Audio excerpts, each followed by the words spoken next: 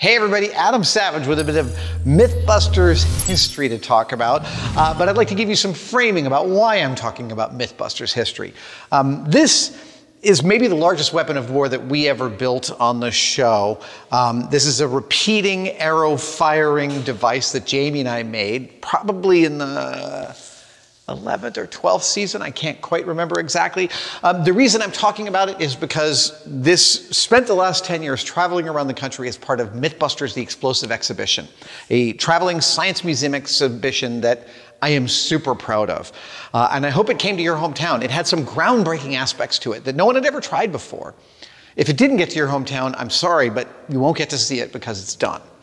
Um, but lest you be sad, know that all of these props are now being auctioned off by Prop Store to benefit the Grant Imahara STEAM Foundation. That's why I wanted to talk about this piece. It's one of the bigger pieces in the auction. For me and Jamie both, this was a build in which we weren't, we weren't positive we were going to get it right. We kept wrapping our heads around the totality of it and feeling optimistic. And yet, when it finally worked, we were both so chuffed, so ecstatic about it. It became really clear that both of us were like, we're really not sure this is gonna work. So let me walk you through why this thing the size of a freaking Tansu credenza um, actually fired arrows and how it did it really efficiently. I, I, am super proud of this device. Okay, uh, so operation was performed by a person who sat here and turned this crank. And when you turned this crank, it turned, well, it would be locked to this wheel, and it would drive this chain. This chain has a, uh, it has links, but one of the links has a little bit of a proud post that's right here. This post would move around out here. It would grab this carrier here and start to move this entire frame, oops, sorry, this entire framework back, back. And it would be pushing it back. And uh, when it gets to the end of pushing it back, that is when the pin comes off the, the thing that it's caught, then this surgical tube spring would bring it back. And it did. It, bring it, it brought it back. Okay, so that was the operation. You turn this, and there'd be this reciprocating movement. What happens when this comes back? Well, what happens is, is that this cocks the string of the bow at the same time as it turns this spiral flute spinning a barrel in here 180 degrees. And each time it turns 180 degrees, it grabs one of these arrows.